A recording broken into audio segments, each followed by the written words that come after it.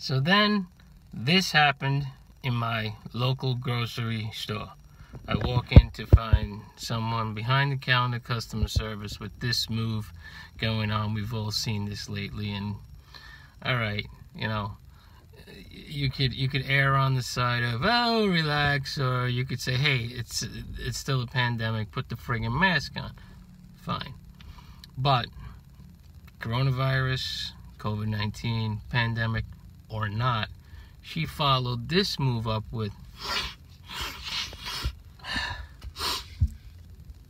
and followed that up with no tissue no remasking no washing continued to stay stoic in serving customers. That, my friends, would freak me out any given day, week, or month of any year. Food service? I think not. Construction? Hmm, maybe. Janitor? Now we're talking, honey.